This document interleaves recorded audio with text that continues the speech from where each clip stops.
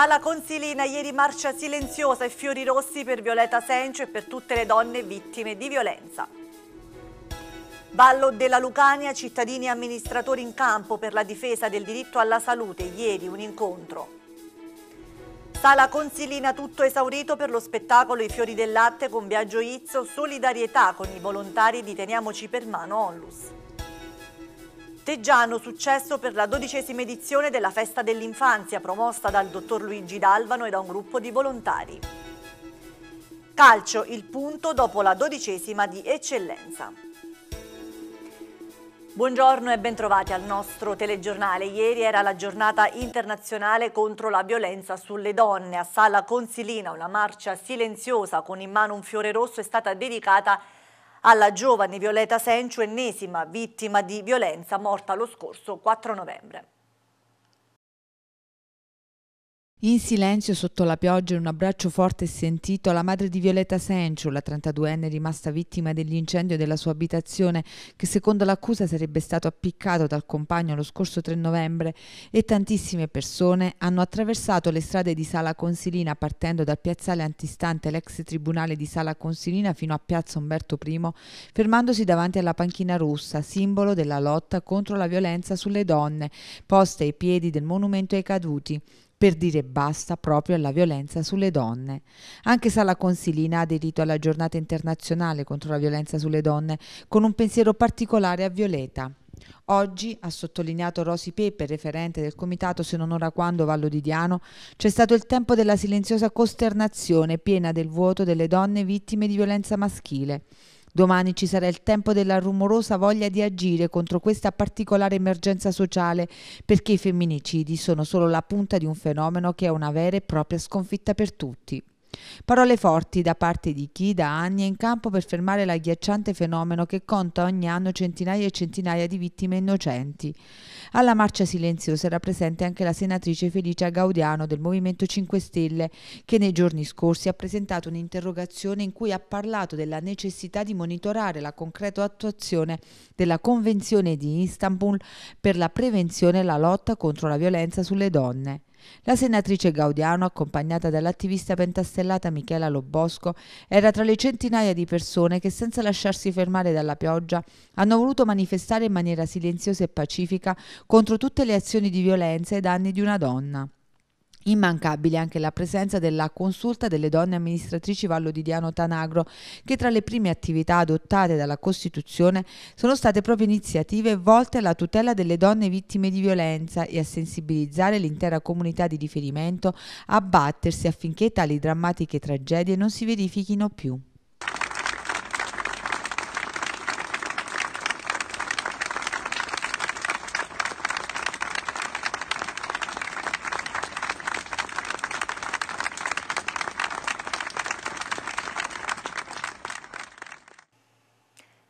Passiamo alla cronaca. Nella serata di ieri, forse a causa del manto stradale viscido per le copiose piogge, un Alfa Romeo si è resa protagonista di un sinistro all'ingresso dell'area di servizio di Sala Consilina Nord.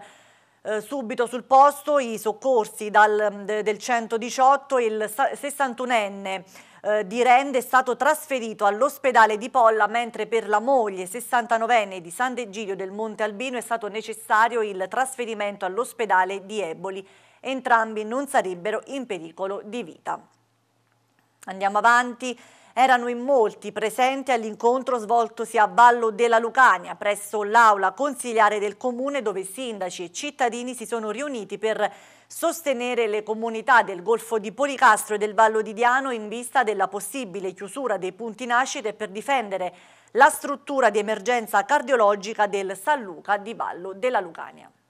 Tante presenze presso Palazzo della Cultura, Vallo della Lucania, dove cittadini, politici e parlamentari del comune vallese e dei paesi limitrofi del territorio si sono riuniti per sostenere le comunità del Golfo di Policastro e del Vallo di Diano, che vedranno la chiusura dei punti nascita dei rispettivi ospedali e per la difesa della struttura di emergenza cardiologica dell'ospedale di Vallo della Lucania. Non solo a rischio i punti nascita di Polla e Sapri, ma anche quello di Vallo della Lucania, che tra un anno potrebbe patire la stessa sorte e non solo per i punti nascita.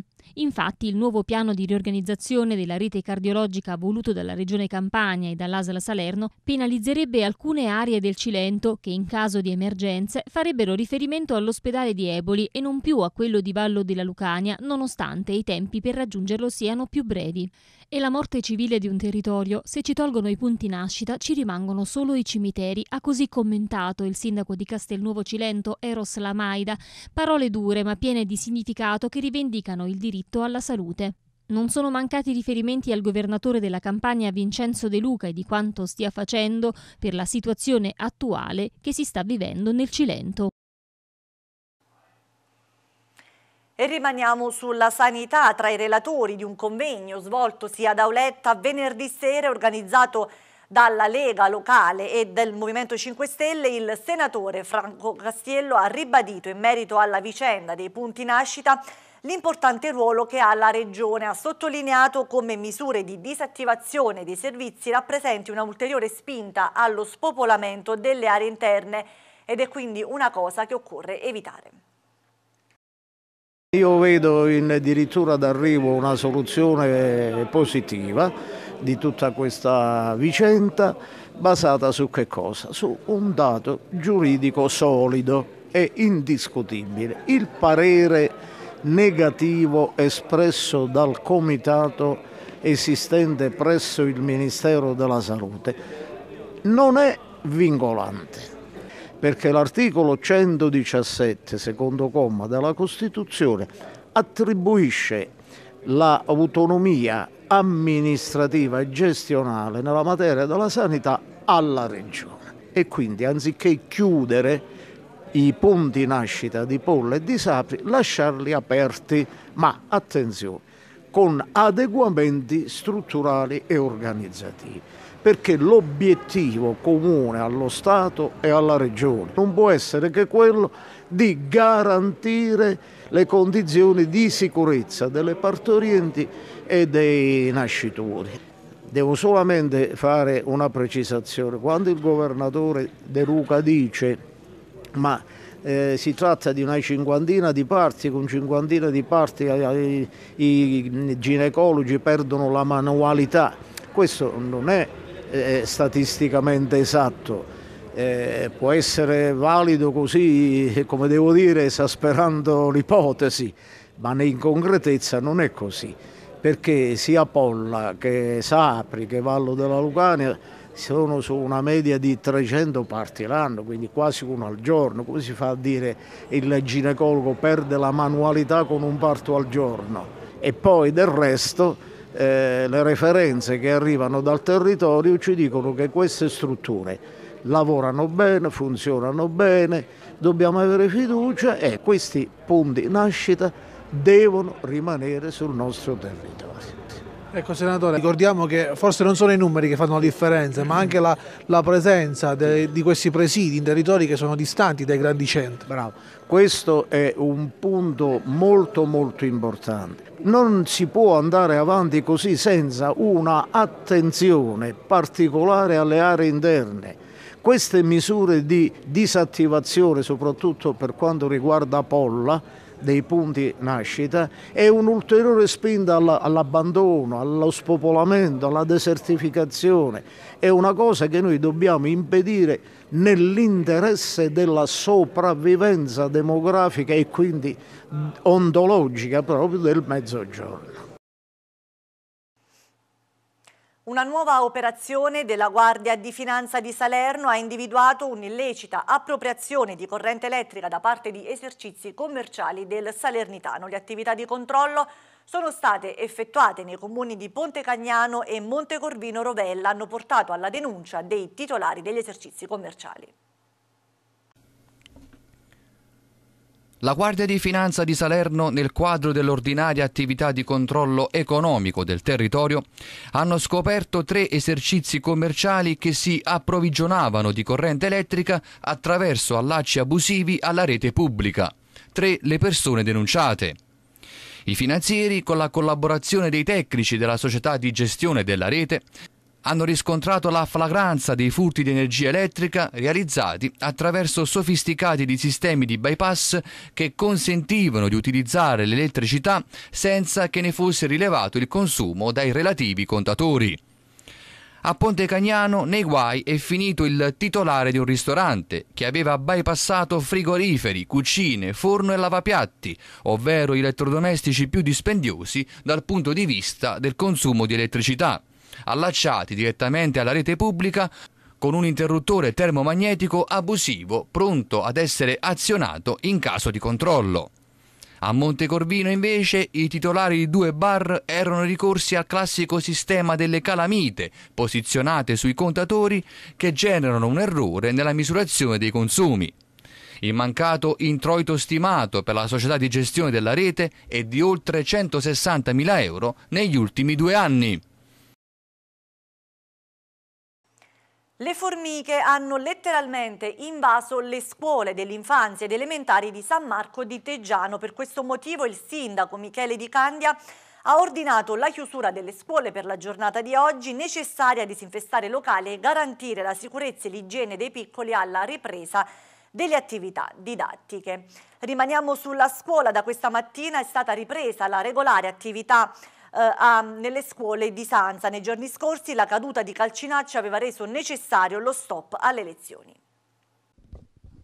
Da questa mattina la scuola media di Piazza San Francesco a Sanza ospita le classi delle scuole elementari dopo che nei giorni scorsi il distacco di Calcinacci nell'atrio del plesso scolastico aveva imposto lo stop temporaneo alle lezioni a tutela dell'incolumità dei bambini. E così l'amministrazione comunale guidata dal sindaco Vittorio Esposito aveva dovuto individuare un nuovo spazio per consentire ai piccoli alunni di riprendere le lezioni. Il grande senso di comunità ha consentito di ridurre notevolmente i tempi per il trasferimento delle classi nelle nuove aule.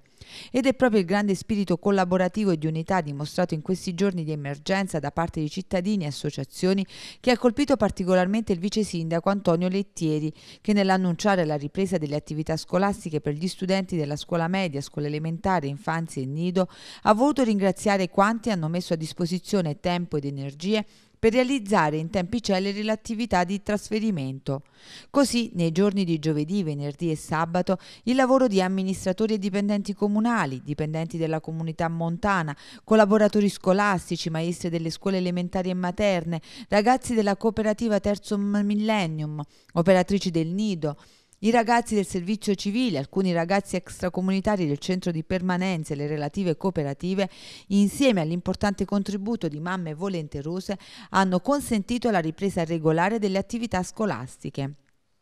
Grazie al lavoro instancabile di tanti volontari, dichiara il vice sindaco Lettieri, si è riuscito in tempi brevissimi ad effettuare il trasloco di tutto il necessario per far sì che da questa mattina si potessero riprendere le attività scolastiche. Un grazie di cuore a tutti, continua, per aver collaborato al trasferimento della scuola in tempi record, un esempio di come lo spirito di comunità aiuta a superare le difficoltà. La nuova sistemazione ha previsto la riorganizzazione degli spazi con le cinque classi delle elementari insieme alla prima media ubicate al primo piano dell'edificio scuola media, seconda e terza media insieme alla scuola dell'infanzia al piano strada dello stesso istituto, mentre il nido è stato collocato al piano terra a livello villa comunale dove è stato anche posto l'ingresso per tutte le classi. Si è aperta tra sorrisi, divertimento, ma anche riflessione e solidarietà la prima serata della stagione teatrale 2018-2019 al Teatro Mario Scarpetta di Sala Consilina con lo spettacolo I fiori del latte. Biagio Izzo ha raccontato con ironia ma anche con speranza l'inquinamento ambientale. Tra i protagonisti anche i volontari della Teniamoci per mano Ollus che con la clown terapia regalano sorrisi ai degenti negli ospedali. Applausi scroscianti per lo spettacolo di apertura della nuova stagione teatrale al Teatro Mario Scarpetta di Sala Consilina, promossa dall'amministrazione comunale guidata dal sindaco Francesco Cavallone e curata dal Teatro Pubblico Campano in una prima serata che ha dimostrato come il teatro possa essere straordinario veicolo per trasmettere messaggi di grande valore educativo e morale. Parte alla grande la stagione 2018-2019 con lo spettacolo I fiori del latte di Edoardo Tartaglia con protagonista Biagio Izzo, che non ha deluso le aspettative riuscendo a strappare grandi risate al pubblico che ha affollato la platea del Teatro Scarpetta aggremito in ogni posto, ma anche a sollecitare riflessioni importanti su un tema particolarmente sentito come l'inquinamento ambientale e la terra dei fuochi. Il teatro, ha dichiarato nel finale Biagio Izzo, non può risolvere i problemi ma può sottolinearli. La speranza, ha spiegato, è che di quanto è stato raccontato e detto durante la rappresentazione sia rimasto anche un solo piccolo messaggio. Nel salutare il pubblico, Biagio Izzo non ha deluso le sue piccole fan, concedendo autografi e foto e ricevendo in dono un disegno che ha ammirato con occhi grati. Ma la serata è stata anche dedicata alla solidarietà.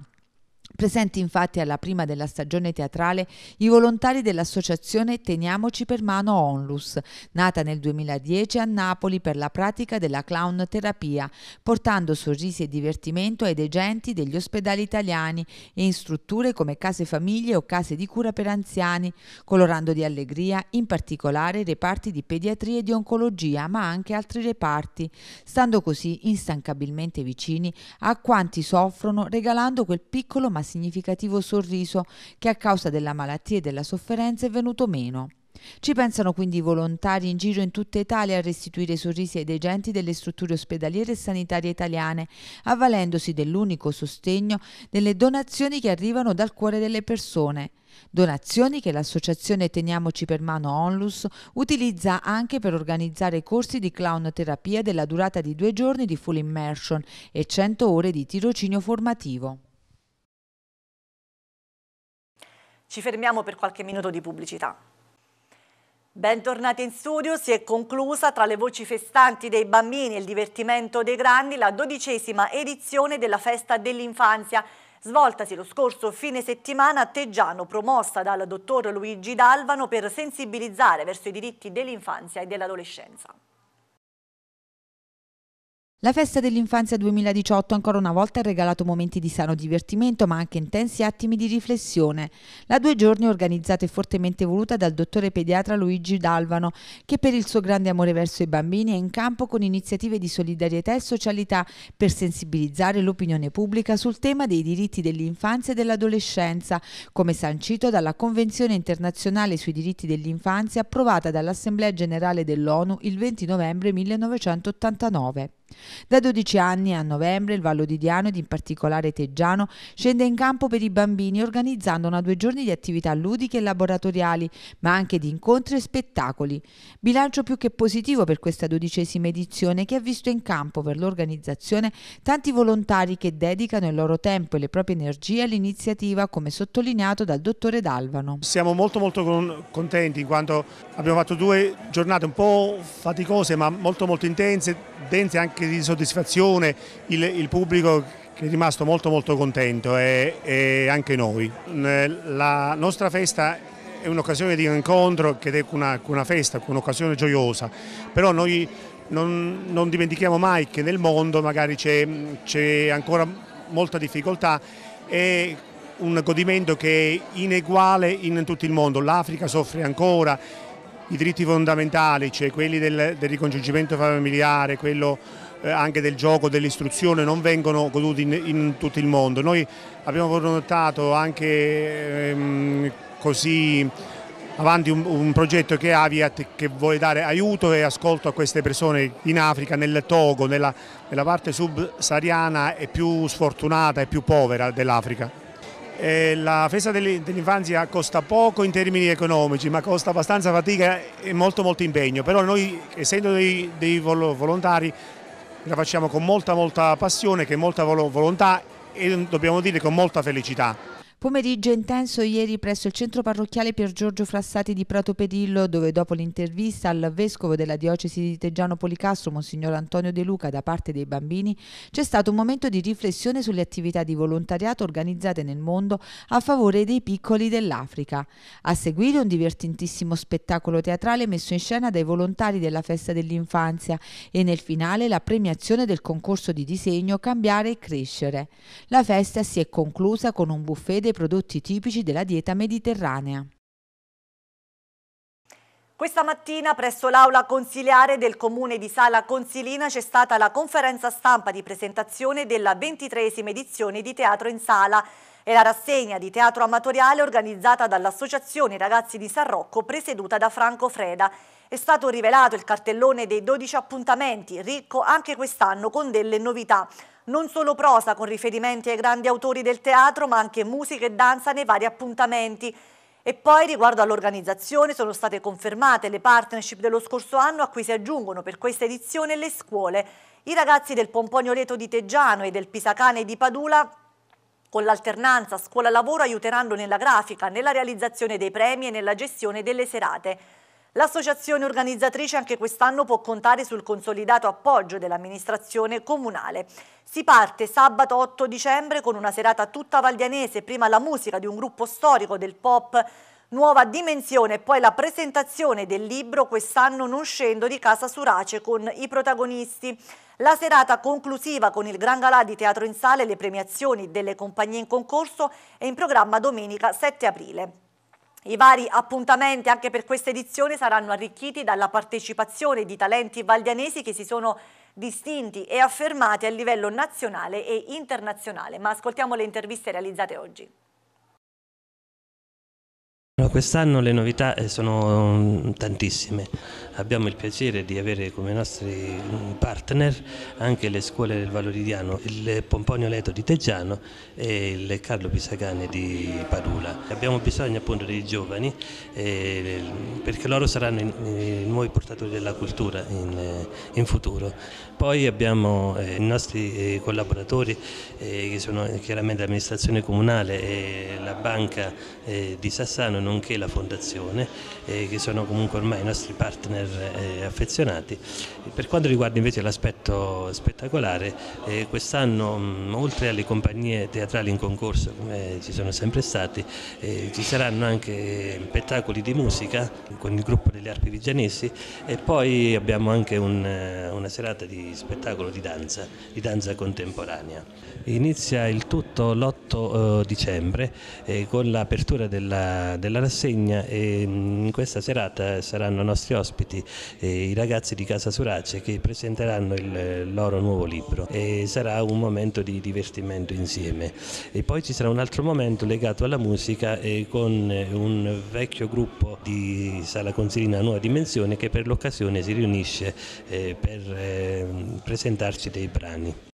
Da 23 anni le amministrazioni che si sono succedute hanno eh, creduto in questa rassegna che ha dato i suoi frutti. Quattro anni fa eh, fu volontà di questa amministrazione, nella persona del sindaco Francesco Cavallone, inserire il teatro nell'ambito della delega proprio eh, specifica alla cultura. Era doveroso quindi sostenere anche per la stagione 2018-2019 la rassegna. La rassegna di Teatro in Sala quest'anno si arricchisce di un nuovo tassello perché già dopo la rassegna rassegna che con successo si era avuta nell'anno precedente si era capito che qualcosa andava migliorato e perfezionato. Importantissimo l'ausilio dei media partners per i quali io ringrazio personalmente anche l'emittente Uno TV, ehm, necessitava della vicinanza dei giovani alla rassegna e quest'anno quindi la collaborazione con le scuole sarà credo un altro tassello importante che si aggiungerà a Teatro in Sala. Poi tante novità nel cartellone, eh, soprattutto la danza, la musica, la danza